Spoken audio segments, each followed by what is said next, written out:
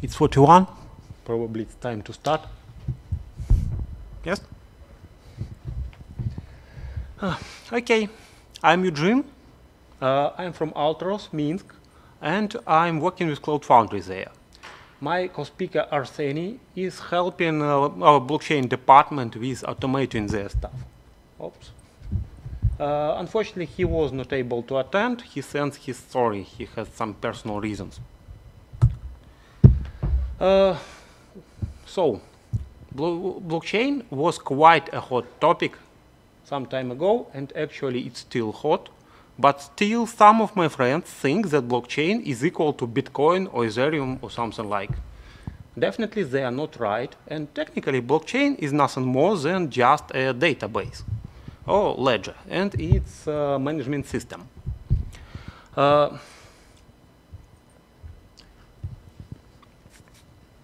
and the data in this database organized in a special way. It's organized in transactions, and transactions are combined into blocks. Each block has a link to the previous one. So the name is from here. It's a chain of blocks. Uh, to obtain a blockchain node uh, and uh, to participate in the blockchain network, we need a special middleware, so-called blockchain client server. It's a special software. It's unique for every particular network. several for blockchain, several for Ethereum. We are mostly working with Ethereum-like networks, so we selected Parity. Uh, it's quite a good client. It has a great community. It uh, has an official Docker image, and it's feature-rich. So it was good for us.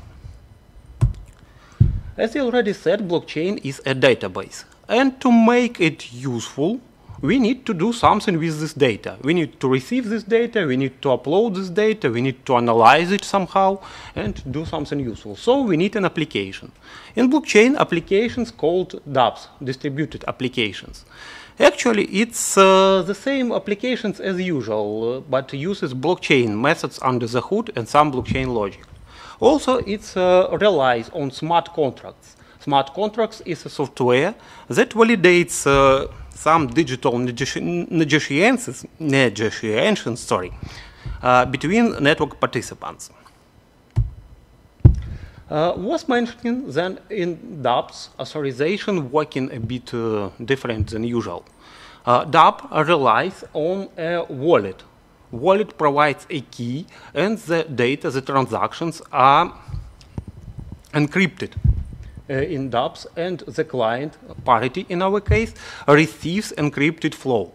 Actually, it uh, helps to mitigate uh, man-in-the-middle attack. In this case, it's not valid at all. Uh, dApps developers are often, in our case at least, are often guys who wrote uh, normal business applications. And uh, some of them are familiar with Cloud Foundry. So one day they came to us and asked us, hey guys, give us some automation, give us something like Cloud Foundry. We, we want to move fast, we want to uh, deliver feature fast. Uh, we decided to get to give them not something like. We decided to give them exact Cloud Foundry and actually, Cloud Foundry selection is not too technical here because we had a foundation where developers already worked, and other developers, not blockchain, uh, and we had a platform team who can manage uh, Cloud Foundry. And uh, as you already said, we had a developer who can CF push and like CF push. So our first step here was to select the first citizen of application and uh, some kind of application and push it to Cloud Foundry. Uh, even with quite a large Cloud Foundry experience, we were surprised because we just have push and it almost worked. Then we make uh, parity, no, NPM version consistent in our code and uh, Cloud Foundry Node.js build pack and it actually works. The solution is not great. You can ask uh, you can probably ask about where Parity here. Parity was installed on separate VM, and we hard-coded configuration of Parity in the, our application. No, it's not the best, I, I understand, but it's working and we understand that we are doing things right, we on the right way. But again, it's not the best solution and we are upset like this corgi. Uh, then we decided to do some improvements. We wanted something that helped us to have several parity nodes uh, at the same time because our developers needed it. We also wanted something which helps us to develop, destroy, and deploy parity client. And also we wanted to live in containers to uh, reduce uh, virtual machine overheads. So, you know, the answer on any cloud related, on even not cloud related question today is Kubernetes. So we wanted to give it a try. It's, uh, we created a deployment, we created the services, and it started to work. Uh, we received uh, the flexibility for operation team. We reduced our cloud bill, but still we had some difficulties.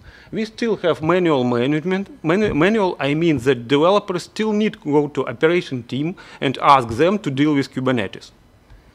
Uh, and flexibility is still low because uh, the service, the Kubernetes service, is hard-coded somewhere in application. Uh, somewhere here, we realized that we are dealing with typical Cloud Foundry setup. We have an application, stateless, moving fast in terms of features, uh, Node.js based, and its developers love CF push. It's typical Node.js Cloud Foundry application, cloud native. And we have an external service. In our case, living in Kubernetes. It's stateful, not so fast in terms of feature, in terms of feature. So probably we should do something with service broker. We should create a service broker to connect to our Kubernetes. It was our step two. What is service broker? Service broker, probably you know, a lot of quite common concept in Cloud Foundry world. Service broker is a software which connects a service and a platform. Its main goal to answer the several important questions. Uh, is service here? How many resources I need and how many resources can service provide? Who configure the system which provides the service, and how to connect to the service from the application. Uh, we started to code even, and uh, it was somewhere in this autumn, and I saw on SpringOne conference such a project like Kibosh. Kibosh is on-demand service broker. It uh, deploys resources to Kubernetes. So it's what we were looking for. Our developers can use CF to manage services, to create them on demand, to delete them uh, when they are no longer necessary. And uh, the service connection string can be get from uh, from environment variables, which are set up in application container. So our step three is to use Kibosh. Kibosh relies on Helm uh, to deploy resources to Kubernetes. Uh, Helm is quite popular thing in Kubernetes world, probably the most popular way to deploy complicated software. So what we needed is to create a Helm chart. It's much simpler than deal with service broker with Go coding or something like this. Uh, now I'll try to answer that service broker important questions to uh, help you understand how all this stuff working. So, is service here? yes, says Kibosh. Kibosh is a typical service broker. It can be used with something like cf create service broker command. And uh, its offering appears in Cloud Foundry Marketplace after this command how many resources do I need and how many resources can our service provide? Uh, this question in typical service broker is answered by a concept of service plans. Here in our deployment, we should somehow set up service plans in our Helm chart. So Helm chart has a variables and we create some YAML notation, some plans to redefine these variables. So we have a several uh, variable set, uh, variable set for several plans. Probably the easiest question, who configures the service source, the system who provides the service? As we are on demand, we are using Helm, the answer is Helm here. Our Helm chart do the job. Uh, our Helm chart can be customized to correspond the reach parity functional, but nowadays it's quite simple. It uses only one default service plan. And uh, probably you know, Helm can deal with dependencies on Kubernetes. Uh, parity is independent software. It's not, uh, it have no dependencies on MySQL, Redis, anything like this, so no dependencies. And probably the most interesting question, how the developer and the application can access the server who, service who live in Kubernetes. Kibosh is a software who can provide a description of Kubernetes service and Kubernetes secrets to the container with application they appear in VCAP services environment variable, and the developer can do the job they can do and like do. They can parse variable and uh, create the connection string or the configuration file, how it's shown on our slide and in our case. It's a brief description of our solution. We are relies on the patterns which provided in Kibosh official repo we deliver Kibosh as a Bosh release. Uh, our Bosh release includes Kibosh itself and our Helm chart. And also plans description, definitely. Uh, Kibosh is a great software which can be shipped with a Bazaar subsystem. Bazaar subsystem it helps uh, to manage Helm charts with uh, uh, which used by Kibosh uh, with a CLI without redeploying Bosh release. Probably we should use it somehow, somewhere, but nowadays we are not using it. Uh, we rely on Concourse, our, our CI/CD system, uh, creates a Helm chart Bosh release on every single commit to GitHub uh, when we do something with Helm chart.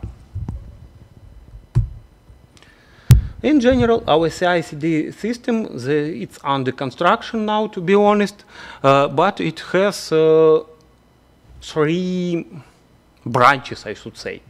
Uh, we should do something with Bosh release. We should do something with Helm chart itself. And of course, we should do something with application. Then we should merge all these flows uh, and uh, see how all the things are working together. This is pretty all for now, but I'm show, going to show a video with a, which can demonstrate how it's working.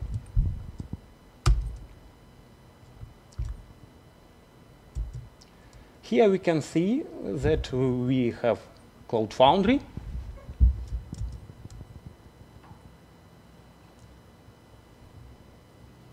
and we have already installed Bosh release with Kibosh. Now the operator is going to create a service offering in Cloud Foundry Marketplace.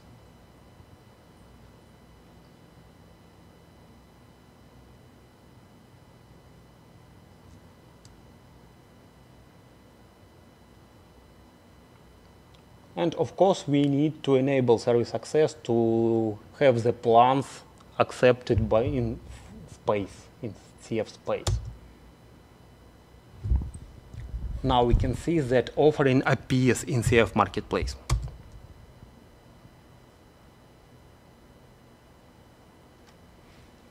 We have installed and configured Kubernetes. And here we can see that we have only default namespaces.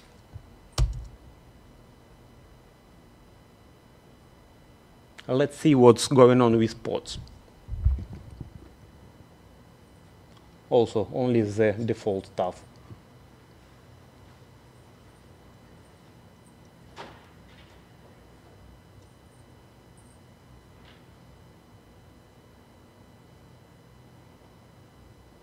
It's our favorite magical command cf push.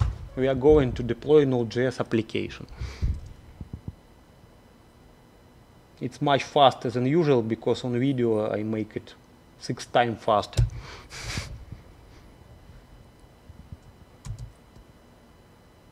Application is here and receive a route. Let's create now a service from the service offering. Service is here. And see what's going on in Kubernetes. Oops, we can see new uh, namespaces created in Kubernetes for us by Kibosh. And see what pods exist there. Yes, it's pods from our Helm chart services as well.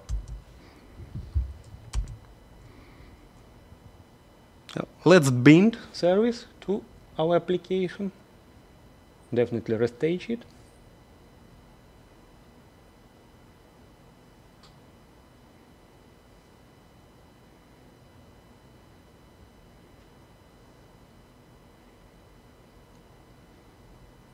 And now we can see in environment variables all the stuff, uh, all service description and secret description from Kubernetes deployments.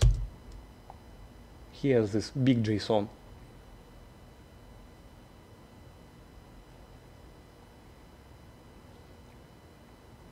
And finally, we can see that application is up and running. It's a voting application using in POA network to select validators.